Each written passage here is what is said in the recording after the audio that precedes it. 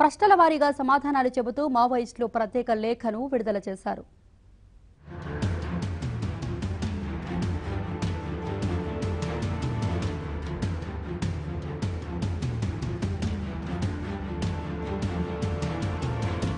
September ఇరవై మూడవ తేదీ మధ్యాహ్నం పన్నెండు నుంచి పన్నెండున్నర గంటల సమయంలో అరకు ఎమ్మెల్యే కిడారి సర్వేశ్వరరావు మాజీ ఎమ్మెల్యే సివేరి సోములను మావోయిస్టులు హత్య చేశారు. కుండ్రూం పంచాయతీ లివిటిపుట్టు సార్రాయిలో గ్రామ దర్శనికి వెళ్ళిన వాళ్ళను అటకాయించి మరీ అనూహ్యంగా కాల్చి చంపేశారు. సాధారణంగా పర్యాటకుల తాకిడితో వార్తల్లోకొచ్చే అరకు ఒక్కసారిగా ఈ సంచలన వార్తతో మీడియాకెక్కింది. మావోయిస్టులు చర్చల కోసం పిలిచి చంపేశారని ఎమ్మెల్యే కిడారి సర్వేశ్వరరావు మాజీ ఎమ్మెల్యే సివేరి సోమ ఇద్దరూ కలిసి క్వారీ మైనింగ్ వ్యాపారాలతో అడ్డంగా దోచుకుంటున్నందుకే అని ఒక వాదన కోట్ల రూపాయలు తీసుకునే పార్టీ మారినందుకు అంటూ మరో వాదన ఆ సమయంలో వినిపించాయి. దీంతో మావోయిస్టుల నుంచి ఎలాంటి రియాక్షన్ వస్తుందో అని ఒక పక్క మీడియా మరోపక్క పోలీసులు ఎదురు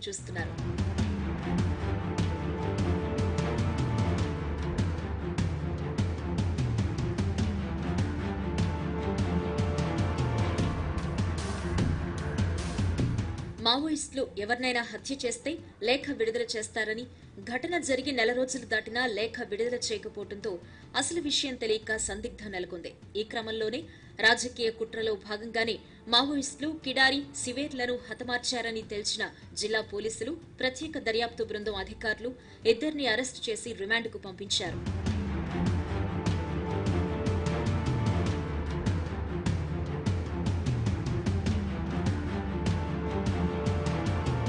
అయితే మావోయిస్టులు ఇన్నాళ్ళ తరువాత ఓ సుదీర్ఘ లేఖను విడుదల చేశారు. పోలీసుల వాదనను పూర్తిగా తప్పుపడుతూ పద్నాలుగు పేజీల లేఖలో తమ వాదనను చెప్పుకొచ్చారు.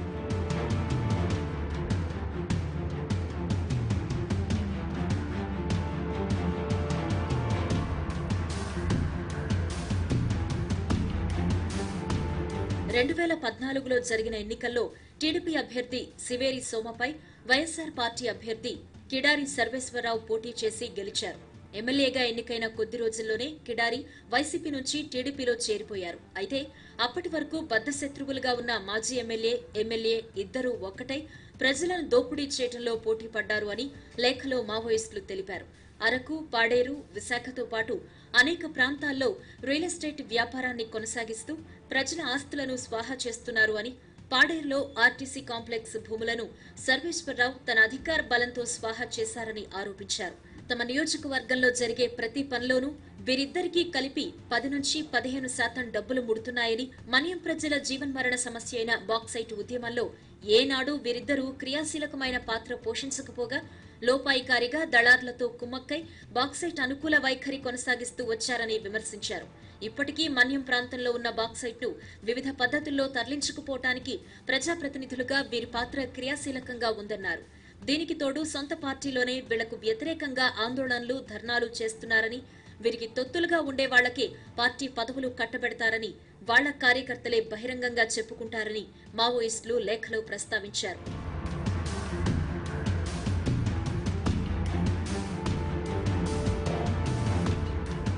ఇద్దరు నాయకుల ప్రజా వ్యతిరేక విధానాలపై తమ పార్టీ పలుసార్లు బహిరంగంగానే విమర్శించిందని తొంభై శాతం మంది ప్రజలు కూడా వాళ్ళ వైఖరిని వ్యతిరేకిస్తూ వచ్చారని ప్రజల మధ్య పనిచేస్తున్న తమ పార్టీ ఏ గ్రామానికి వెళ్ళినా వీళ్ళ అక్రమాల చిట్టానే విప్పేవారని మావోయిస్టులు చెప్పుకొచ్చారు. రాజకీయ నాయకుల ముసుగుల్లో వీళ్ళిద్దరూ ప్రజాశత్రువులుగా తయారైనందుకే వీరిని పీఎల్జీఏ శిక్షించిందని లేఖలో రాశారు. ఈ విషయాన్ని ఆ రోజే గంటసేపు సమావేశం పెట్టి మరి ప్రజలకు టీడీపీ కార్యకర్తలకు పోలీసులకు చెప్పామని కానీ ప్రభుత్వం పోలీసులు కుమ్మక్కై కావాలనే విషయం బయటకు రాకుండా చేసి తమ పార్టీ పీఎల్జీఏలపై తప్పుడు ప్రచారం చేశాయని ఆవేదన వ్యక్తం చేశారు మావోయిస్టులు.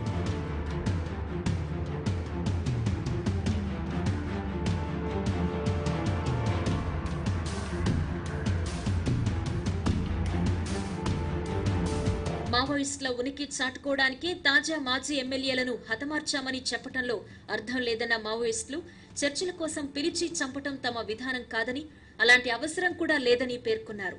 తాము అలా చేస్తే తమ పార్టీపై విశ్వసనీయత పోతుందని లేఖలు రాశారు. ఇక రాజకీయ కక్షతోనే హత్యలు జరిగాయని దీని వెనుక ప్రత్యర్థుల రాజకీయ కుట్ర ఉందనే వాదనల్లో నిజం లేదన్నారు మావోయిస్టులు. ప్రత్యర్థుల ఆశ చూపితే ప్రలోభాలకు లొంగిపోయి హత్యలు చేసే రౌడీల గుంపో గూండాల గ్యాంగో మావోయిస్టు పార్టీ కాదని తెలిపారు. ఎటువంటి హెచ్చరికలు లేకుండా చంపామనటం కూడా అసత్యమని వీరిద్దరి మైనింగ్ కార్యకలాపాలకు వ్యతిరేకంగా ప్రజలు చేసిన పోరాటాలకు పత్రికలే సాక్ష్యాలని అలాంటి వాళ్ళ చావుతో ప్రజలు పండగ చేసుకుంటున్నారని మావోయిస్టులు లేఖలో రాసుకొచ్చారు.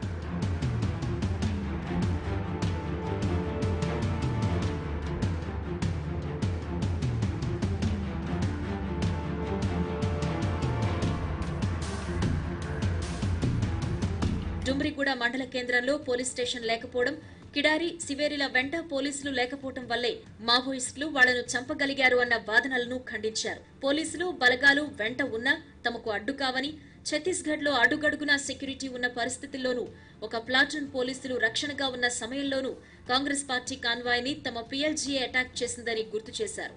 పోలీసులను కూడా దెబ్బతీసి వాళ్ళ ఆయుధాలను స్వాధీనం చేసుకున్నామని ఎంతమంది సెక్యూరిటీని పెట్టుకున్నా ఇలాంటి వాళ్ళకు ప్రజల చేతుల్లో శిక్ష తప్పదని వల్లవేశారు మావోయిస్టులు.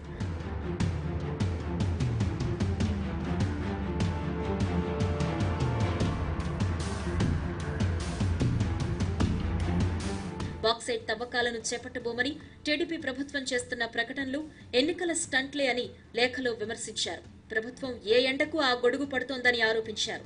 అధికార పార్టీయే కాకుండా వైసీపీ మాటలు కూడా నమ్మశక్యంగా లేవని రాజకీయ పార్టీలన్నీ ఒకే తాను ముక్కలని ఎద్దేవా చేశారు.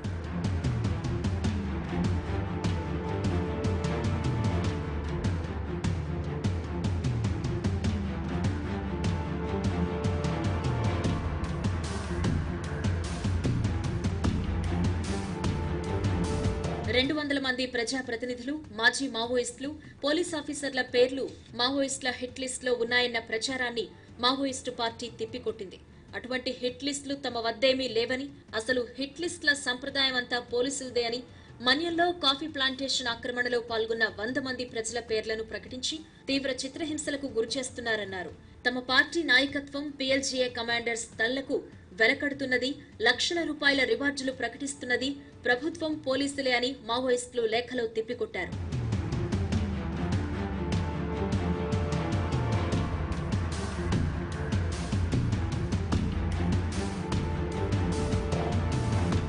ఆదివాసీ నేతలను అన్యాయంగా చంపేశారని ఎంఆర్పీఎస్ నేత మందకృష్ణ మాదిక చేసిన ఆరోపణలకు కౌంటర్ ఇచ్చారు మావోయిస్టులు. అణచబడ్డ కులాలకు వీళ్ళిద్దరూ ప్రధాన శత్రువులని కులం పేరిట వర్గ పోరాటాన్ని తప్పుదారి పట్టిస్తున్నారు అంటూ విమర్శించారు. ఎంఆర్పీఎస్ ఉద్యమం రిజర్వేషన్ వంటి తాత్కాలిక ప్రయోజనాలను కొంతవరకు సాధించిన మెజార్టీ ప్రజల మౌలిక సమస్యలైన భూమి అడవి నీరు ఆత్మగౌరవం అధికారం వంటి సమస్యలను పరిష్కరించలేవన్నారు ఈ సమస్యల పరిష్కారానికి తమ పార్టీ అలుపెరుగని కృషి చేస్తుందని చెప్పుకొచ్చారు. మందకృష్ణ మాదిగ క్షేత్రస్థాయిలో పర్యటించి ప్రజల నుంచి వాస్తవాలను తెలుసుకుని మాట్లాడాలి అని సూచించారు.